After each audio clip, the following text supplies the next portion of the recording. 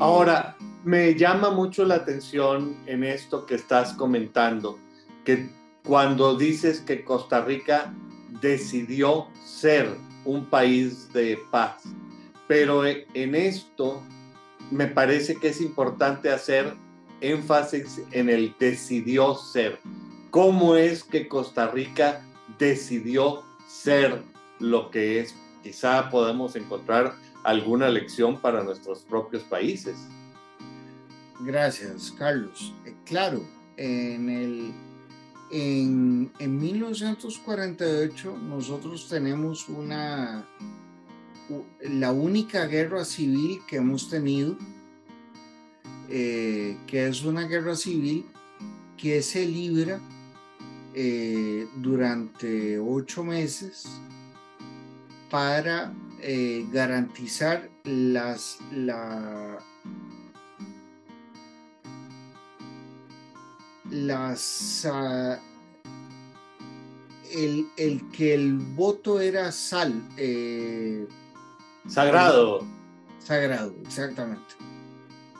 Y eh, durante ocho meses se da una, una, una guerra civil acá y eh,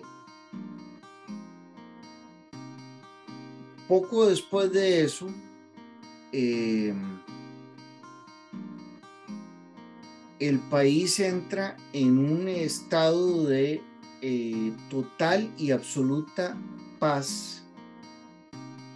Tanto así que Oscar Arias en 1986, poquito después, 88, presidente de tu país y además eh, premio Nobel de la Paz.